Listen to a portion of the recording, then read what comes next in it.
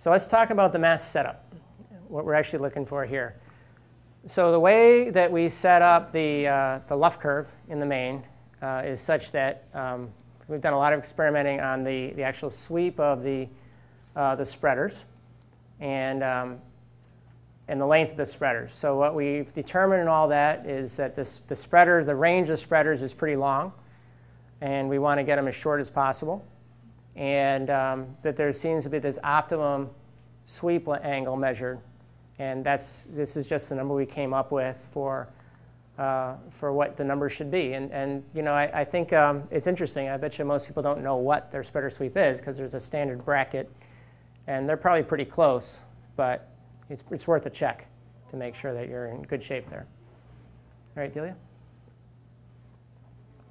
Now, this is one of my least favorite measurements in the tuning guide. When they ask you to measure the mast butt position, um, I would say we spend 90% of our time when we set up a new boat or more on putting the mast butt in the spot we want it. And um, you know, I think at some point, to some degree, this is an art because we've always tried to put it down to numbers. You know, if we get it here and this is what we got for pre-bend and, and then we go sailing and we're slow and then we move it around and we're a little faster. So we uh, do a lot of hunt and peck on this. This is the most critical measurement on a, on a J24 anyway. And it's all about that pre-bend because it's a lever below the deck and you're moving it back, you get more pre-bend. Um, but it's doing more than that. As you move it back, you get more headstay sag. So it's the interaction of that pre-bend and forestay sag that we spend all our time at. And uh, this is probably the part of the tuning guide I, I, dislike the most. If you read the tuning guide, and this is straight out of the tuning guide, you measure from the third bolt from the, the top, crawl up in the bow, you put a tape measure to the front of the beam, mark it there, and then you measure back from that 130 millimeters, and that gets you started. Um, the, the, pro- the flaw with this method is that who's to say, you know, here we are, we're, we're measuring this mast butt to within an eighth of an inch. We've, we've already determined that an eighth of an inch makes a noticeable difference in the way the mast looks, the way the sail looks, and your, your resultant speed. You can see it with your eye, one eighth inch difference in the mast butt. Well, who's to say that the fiberglass on this boat is not one inch inch thicker than the last boat? You know, who's to say? I'm sure it is. I'm sure they're not all made the same up there. Um, you know, there's so many different things. That angle could be just a little different. Uh, it could be a little further up or down, depending on what's going on. So that bolt could be off by, you know, by the time you do that measurement, you could be off by a half inch easy. And you know, if we're playing with an eighth of an inch, you're, you're in trouble. So I think I don't mind somebody doing this just to kind of get in the ballpark. But what we're going to talk about is, is the way we do it instead. So um, it is kind of nice to take a look at this, though. This, this picture, is, I know it's a little hard to see. I got that pointer somewhere. Um, here it is. If you look at, um, so this is your pre-bend, all right? And that is a combination of a lot of things, but one of the big things is this lever arm. By moving the mast butt back a little bit or forward, if you move it back, you make more pre-bend. You make it move forward, you make the mast straighter. Um, but as you move the mast butt forward, you're also tightening that forestay up. You're tightening as you move the mast butt forward. You're you're pulling the you know your your lever arm is pulling the mast tip back and making the forestay tighter, correct. All right, next.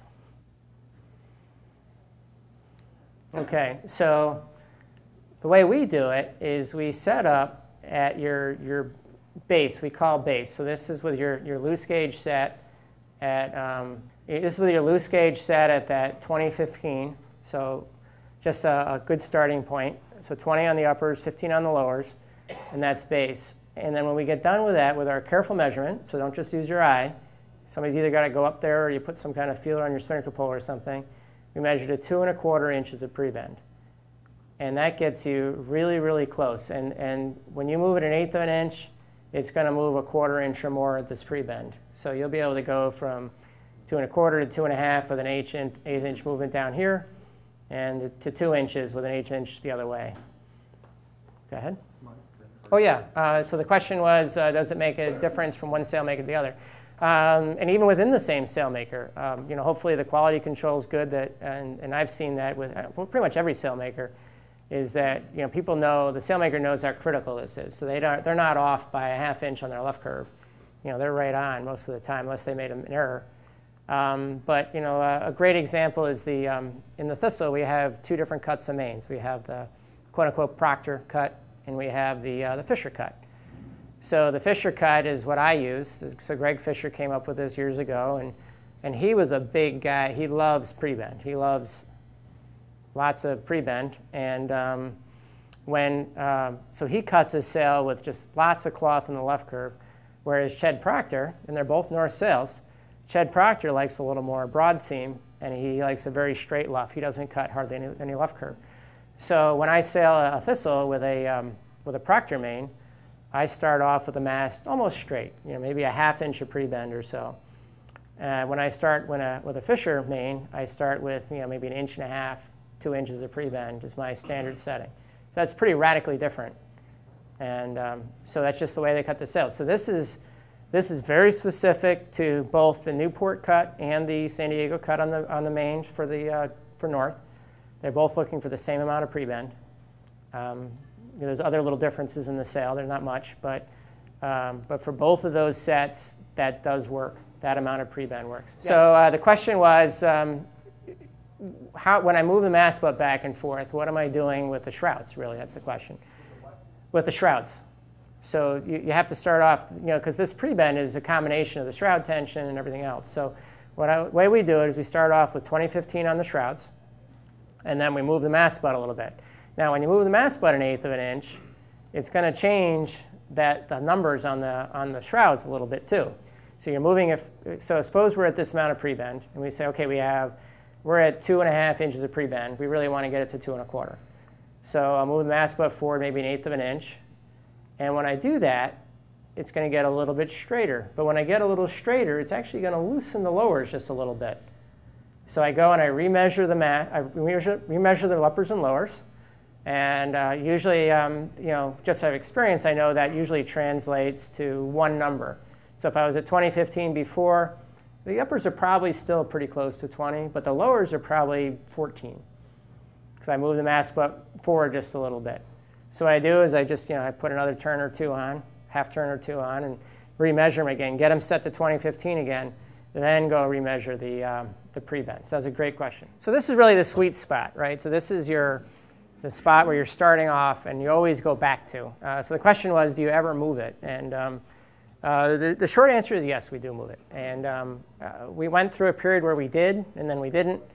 Um, I think you're going to be 99% there, 95% there if you never move it from that sweet spot. Um, the, uh, there are exceptions, though, and, and, we'll talk about that a little bit. But um, and I'll, I'll, talk exactly why, but um, in heavy air, we actually move the mast spot forward a little bit. Uh, so that goes along with the question before, which we haven't answered yet, which is why, why are your lowers tighter than your uppers when it gets really, really windy? But it's for the very, very same reason. And uh, when we get to that little section, we'll, we'll talk about how much we move it and why. And, um, but like I said, it's a, it's a complicated thing. And usually, if it's windy like that, that's the last time you want to be trying to move your mast butt too. You know, by then it's you know it's blowing 25, and you know had to uh, unroll, undo your rig so you can move your mast butt. You got somebody down there trying to move things around, so it's not an easy thing. Um, but um, but we do have it kind of set up so we can do it pretty quickly, and um, we can we can actually move our mast spot within within about a minute now. So I don't know if everybody can see this very well, but if you have your uh, your boat here right? And uh, you get your mast, a little bit of pre-bend in it. When you finally get that two and a quarter, what I'm looking for, once I get that 2.25 inch, that's measured from the, the gooseneck the top of the mast, there is a certain amount of forestay sag, and this is key. And you know, if you go up to it and you, you see it's out of range, you can move it a lot. You know, it's you know real lot. You know it's wrong. But what I do is I take the, I do take the aluminum one for this, and at that 2015, I set it so that when I pull it, it's so loose that it's off the gauge, and I can stick a couple of my fingers in there. So it's about an inch in between. So you're looking for about one inch showing. And do you guys know what I mean by, by between the Loos gauge and the, Yeah, yeah. maybe that's not clear. So on the aluminum Loos gauge, the way it works is it's got this, this metal piece that kind of goes, it swings. It's got two metal, metal flaps that go like this. And as you pull it, you know, the tighter the shroud, the less this will have to be moved. And the more the whole thing bends if it's really loose. So they'll, on the aluminum one, if you put on the force forestay, the force forestay is so loose that when you pull it, the, uh, it's off the number scale. The number scale is like right in the middle of this microphone, but it'll go right past it. So when it's there, I, it, there should be about an inch of gap between the force forestay and your Loos gauge. I mean, sorry, between the Loos gauge and the numbers at that point. You should be able to stick your fingers right in there. And that's, that's how you know you're right. So once you get here, this is kind of the balance you'll have. Suppose you get done and you have kind of zero inches showing. So your forestay is a little too tight. Well, then we actually move the, the mast butt a little further aft, trying to get a little more forestay sag. And that'll make it more like 2.5 inches, right? Of your ideal two, and then maybe you get a half inch showing. And this becomes your magic because every boat's different. You know, you wish you could just set it up, and 2.25 inches always meant that one inch of sag, um, but that doesn't work that way. Um, so what we end up doing is we just keep playing with these numbers, and we try to find the, the perfect balance. You could try to fake it with different shroud tensions, and we do a little of that too. So for example, if, um, you know, in this example, we get to the point where it's a little too tight for the amount of pre-bend, we might we might just have on this boat, maybe, you know, this boat's a little different, we might actually have slightly looser shrouds than we would on another boat. So um, this is, so on our Italian boat, when we rigged that up the first time, we, we struggled with this because there's something geometrically different with that Italian boat. And the, when we got done with our 2.25 inches, we had like two and a half inches of this in here. It was that the forestay was just super loose. And uh, we'd go sailing, and the thing would just be sagged so far to leeward. And, um, and this is when we, we started rethinking the fact that we just starting off with uh, the pre-bend. We started thinking we got to pay more attention to the forestay sag. So we've been paying more attention to the forestay sag. And um, so on this Italian boat, we, we do the opposite. We, first of all, I start off with moving the mast butt a little bit the other way. So I go a slightly straighter mast. So maybe I'm at two inches of pre-bend. So I can get this down to a manageable, maybe one and a half inches. You know, so it's still a little looser than I'd like, but the mast is a little bit straighter than I'd like. And I, I tend to, to carry the, the shrouds tighter than I did on our old brain cramp 1208. So 1208, we were always having our shrouds looser than everybody else because I think it kind of had the opposite problem. And on this boat, we tend to do the shrouds just a little bit tighter um, and, and this is the part that's impossible to put into a tuning guide. How do you write all this into a tuning guide? And, um, and, and part of the problem is there's no right answer. We're still hunting and pecking, trying to find out exactly what's, what's right here. So um, it's something we're still struggling with. We, we're still trying to get it just right. Yeah? You measure your two and a quarter inches of pre-bend. Are you doing that at a specific height? Yes, we do it right at the spreaders. The, the question is when you're measuring this two and a half inches of pre-bend, we're always doing it exactly the same spot and we do it from the back of the track to the front of the halyard when it's tied from the top, you know, main halyard comes down right to the gooseneck, and it's tied tight against the gooseneck, and it's uh, right from the back, because the halyard actually has, you know, it's pretty thick. You know, it's half inch thick or something, or three eighths, I think it is. So, I mean, that's more than a quarter inch right there, so you don't want to get that wrong. So you do it from the back of the, front of the halyard to the back of the mast track and it's always right at the spreader, so you're always measuring from exactly the same spot. Is that two and a quarter critical because of the sail cut? Two and a quarter is critical. The question was, is the two and a quarter critical because of the, the luff curve? And how we, we talked about how critical that was the whole time. That's exactly what you're starting off with. So what happens is if it gets a little lighter, base, the base setting is actually not the lightest setting. It's 2015. Our lower setting is, is more like 1510. So in lighter, it actually will straighten out and we'll get, um, we'll get more, more shape. And then in heavy air, we want to straighten it out. I'm sorry, in, um, in light air, we straighten it out to get more shape, and in heavy air, it actually bends more to pull that luff curve out.